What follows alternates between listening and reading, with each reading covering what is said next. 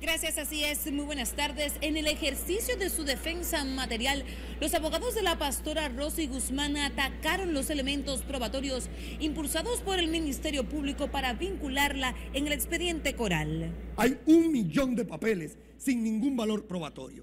Héctor López, abogado titular, aseguró que de las 3.000 pruebas que dice poseer el órgano acusador, ninguna contiene suficiencia ni contundencia probatoria que puedan dar al traste con una condena en juicio de fondo.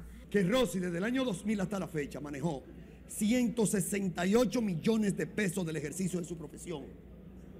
Y que a partir del año 2012, que fue a partir del año de la entrada de Danilo Medina al gobierno, doña Rossi prácticamente cesó su ejercicio profesional porque fue la, e, la, época en que ella ingresó a la fe cristiana. La defensa presentó ante la jueza de instrucción Yanivet Rivas un inventario documental probatorio que pide declarar inadmisible tras presentar una por una las pruebas que considera carentes de utilidad.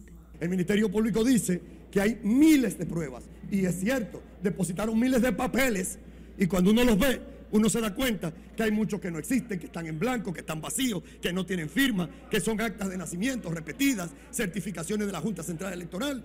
En el expediente del Ministerio Público, Guzmán Alcántara es acusada de asociación de malhechores, lavado de activos y financiamiento del terrorismo, testaferro y circunstancias agravadas del lavado.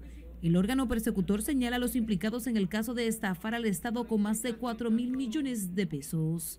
De los 40 implicados en este expediente coral, faltan al menos tres por presentar su defensa material, entre ellos el general Adán Cáceres. Es todo lo que tengo por el momento. A retorno contigo al estudio.